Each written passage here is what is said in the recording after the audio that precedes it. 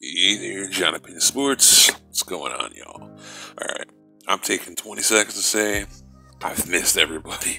You know, I hope y'all been healthy, prosperous. Football season is inching closer and closer, and I don't know about you all, but I need that in my life. I need a little football because it's been dead. I mean, I want to make videos, but there's literally nothing happening.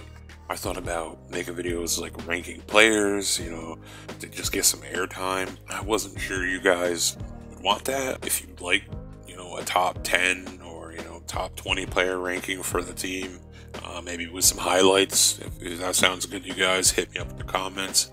Let me know. But today in this video, uh, actually, well, you know what? So every few days, you know, I'll Google New York Giants and, you know, read some articles and see what's going on. And maybe I can get, you know, maybe first maybe be some inside stuff, maybe something I can make a video about.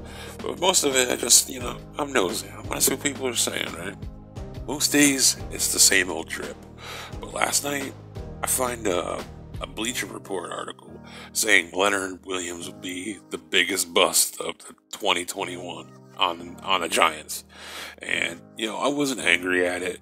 I think it's wrong, uh, but I understand why some people feel that way.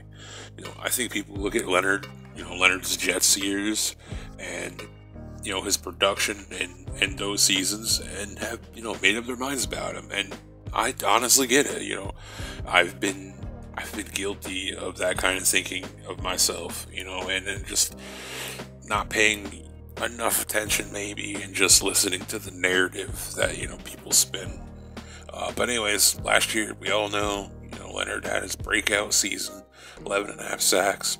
In his previous five seasons, he had 17 and a half sacks combined. So if you just look at the sack numbers and now you're factoring in a new contract, I could see how somebody could think they could bust. But when you really dive in and you see the amount of attention Williams gets, first of all, that gives other players better opportunities. He has always gotten a metric fuck ton of pressures. Even when the sack totals weren't there, I mean, he was top five most every season by by defensive linemen. And on them plays, that turns into sacks for other players, turn in, turns into interceptions. You know, there's a lot of hidden value there. You can move Williams all around in the line, and you know he's just he's pretty fucking good against the run. I mean, just everything when you add it all up, I just I just don't think there's anything there to this article. I you know, in my opinion, I think there's just a zero percent chance Williams bust becomes a bust next season all of a sudden. Um, with the size of his contract, you could say it's possible that he could be a huge disappointment uh, to people. But bust is just a, a little bit hyperbolic. you know, on top of all that, you know, he's just never uh, been injured in his career. You know, every year. Uh, he's played 75% of this, this team snaps on the defense. He's he's just he isn't gonna bust. you know, I like to bring these kind of uh, bashing articles. and I like to make videos about them, and you know, I talk about you know some of these maybe bad opinions and takes from people. A lot of people are really sleeping on this team, and that may not seem like much, or, and if the team turns out to be bad, all them people that are making these articles could flip it around on me. No, you're a homer, and maybe I am biased, and you know I'm not seeing something.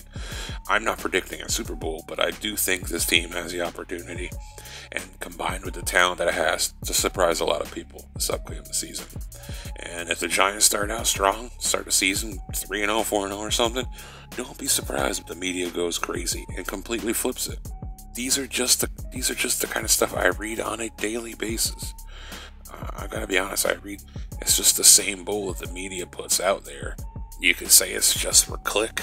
Sometimes, you know, it really it feels hateful, and I just think that we need to start holding these people's feet to the fire. We're in the age of clickbait, and uh, it sucks. But anyways, if somehow Leonard Williams turns out to be a bust, I'll come I'll come on here and I will officially apologize to Brent, uh, whoever this guy's name is at Bleacher Report. Just kind of really just wanted to get a video more than anything. out there. I still kind of slow. I have an idea for a few more videos, but you know, if there's a story or a Giants talking point you guys want to hear, here, well, anyways, hear me run my mouth about. Leave me a comment. I enjoy making requested videos for subscribers. They're fun. Anyways, I think that's all I got today. Like, subscribe, and uh, let's wreck shit this season. Go Giants.